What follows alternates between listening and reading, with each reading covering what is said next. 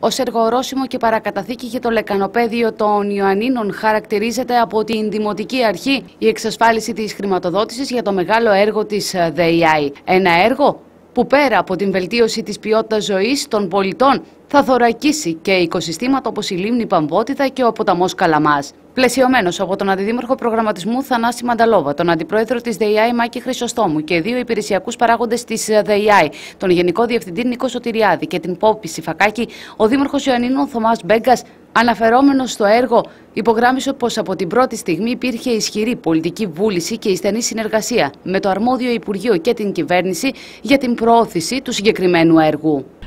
Μιλάμε πλέον για μια πάρα πολύ σημαντική παρέμβαση μια σημαντική παρέμβαση η οποία έχει δύο διαστάσεις, δύο παραμέτρους. Μία είναι η περιβαλλοντική παράμετρος, ουσιαστικά είναι ένα έργο το οποίο έχει σχέση με την προστασία δύο πολύ ευαίσθητων οικοσυστημάτων, το οικοσύστημα της λίμνης Παμβότητας και το οικοσύστημα του ποταμού Καλαμά και μιλάμε και για μια παρέμβαση η οποία βελτιώνει την ποιότητα ζωής ε, κάποιων πολύ σημαντικών περιοχών του Δήμου Ιωνιτών ενός μεγάλου αριθμού πολιτών. Όπως γνωρίζετε, το ζήτημα αυτό της ένταξης του συγκεκριμένου έργου για την επέκταση του τριτοβάθμιου βιολογικού καταρρισμού και την επέκταση των δικτύων αποκέντρευσης διαφόρους οικισμούς ήταν ένα μείζον ζήτημα για μας σαν Δημοτική Αρχή, γι' αυτό και στις δύο επισκέψεις του Πρωθυπουργού στον τόπο, η μία με αφορμή τα εγγένεια της Εγνατίας Οδού και η άλλη ε, με αφορμή το Περιφερειακό Αναπτυξιακό Συνέδριο ήταν από τα θέματα της ατζέντας μου τα οποία έθεσα κατά προτεραιότητα στον Πρωθυπουργό. Νομίζω ότι εδώ που έχουμε φτάσει πραγματικά έχουμε ένα πολύ σημαντικό αποτέλεσμα. Θεωρώ ότι είναι μια πολύ μεγάλη επιτυχία της Δημοτικής Αρχής. Θεωρώ ότι είναι μια μεγάλη προσφορά στους Γιαννιώτες πολίτες. Η προσπάθειά μας δεν σταματάει εδώ, συνεχίζουμε. Θεωρούμε ότι η ΔΕΙΑΗ είναι ένας φορέας του Δήμου, μια επιχείρηση του Δήμου η οποία έχει προσφέρει σημαντικό έργο στον τόπο και θα συνεχίσουμε σε αυτή την κατεύθυνση για το καλό των πολιτών. Όταν πετυχαίνουμε μεγάλους στόχους, περισσεύει, και δόξα, περισσεύει δόξα για πολλούς. Εμείς θα πάρουμε ένα κομμάτι της δόξας. Νομίζω ότι μας αντιστοιχεί μεγάλο, αλλά δικαιούμαστε και εμείς να πάρουμε ένα κομμάτι της δόξας. Στο ιστορικό της υπόθεσης και στις δυσκολίες που ανέκυψαν, αλλά και στην συντονισμένη δουλειά που έγινε για το επιθυμητό αποτέλεσμα, έκανε λόγο ο αρμόδιος αντιδήμαρχος Θανάσης Μανταλόβας, κάνοντας λόγο για μια μάχη 10 μηνών με αίσια έκβαση. Ήταν επίσης μια πολύ εξαιρετική ημέρα για τους χιλιάδες συμπολίτες μας στις περιοχές των οποίων θα κατασκευαστούν τα επόμενα χρόνια δίκτυα αποχέτευσης γιατί ξέρετε πάρα πολύ καλά ότι η αποχέτευση, η διάθεση και η διαχείριση των λιμάτων αποτελεί ένα από τα πιο κοστοβόρα ζητήματα καθημερινότητας που αντιμετωπίζουν χιλιάδες, όπως είπα πριν από λίγο, συμπολίτες. Ήταν τέλος, επιτρέψτε μου να πω, μια ημέρα σταθμός για τη δημοτική μας αρχή και ταυτόχρονα μεγάλης ικανοποίησης και δικαίωσης προσπαθειών του Δημάρχου και προσωπικά εμένα και του υπηρεσιακού μηχανισμού της, ε, της ΔΕΙΑΗ για περισσότερο από 10 μήνες. Δώσαμε μια μάχη και κερδίσαμε μια χρηματοδότηση που στην αρχή η έκβαση της μάχης αυτής έμοιαζε εξαιρετικά αμφίβολη έως σχεδόν αδύνατη. Για τα δύο βασικά υποέργα, δηλαδή την αναβάθμιση, επέκταση του βιολογικού καθαρισμού και την κατασκευή των δικτύων αποχέτευσης, δεν υπήρχε καμία νομική δέσμευση, καμία σύμβαση και συνεπώς καμία υποχρέωση της νέας προγραμματικής περίοδου προς το προηγούμενο έργο, κάτι που σήμαινε ότι πως έπρεπε να γίνει αγώνας εξ αρχής για την χρηματοδότηση του έργου με νέους όρους και νέα κριτήρια που έθετε η παρούσα προγραμματική περίοδος, δηλαδή την χρηματοδότηση έργων για οικισμούς άνω των 2.000 κατοίκων. Αυτό που κατάφερε λοιπόν ο Δήμος ήταν να τεκμηριώσει την ανάγκη κατασκευής ενός νέου βιολογικού για 100.000 μάλιστα κατοίκους,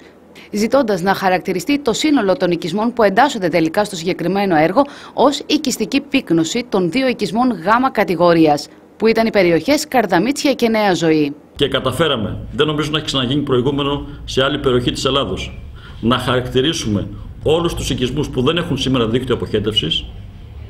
και αναφέρομαι στο Σταυράκι, στον Νεοχορόπουλο, στα Καρδαμίτσια, στην Εξοχή,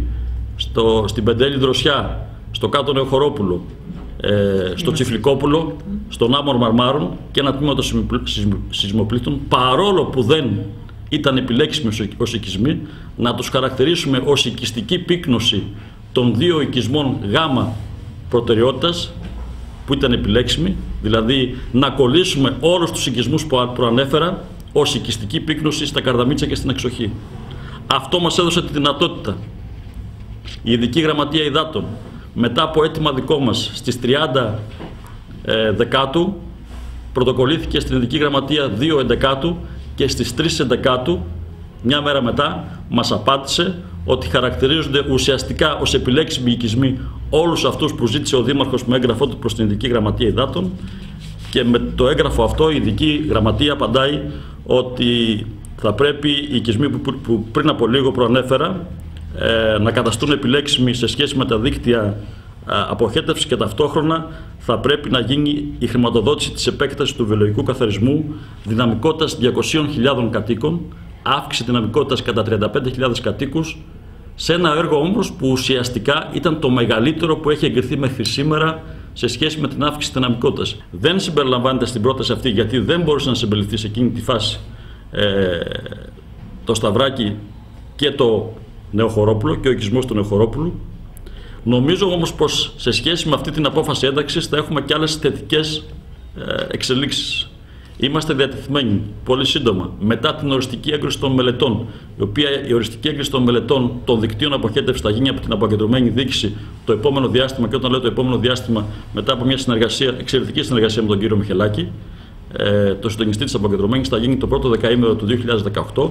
και μετά την έγκριση των μελετών θα επανέλθουμε ζητώντας τροποποίηση της απόφασης χρηματοδότησης προκειμένου να ενταχθούν και τα δίκτυα αποχέτευσης στους οικισμού Σταυράκη και Νοχορόπουλου. Χωρίς να είναι τίποτα εξασφαλισμένο, θα δώσουμε ακόμη μια μάχη ώστε να αυξήσουμε κατά 7 ή 8 εκατομμύρια επιπλέον τη χρηματοδότηση που ήδη έως σήμερα έχουμε λάβει. Θέλω να κλείσω λέγοντας πως το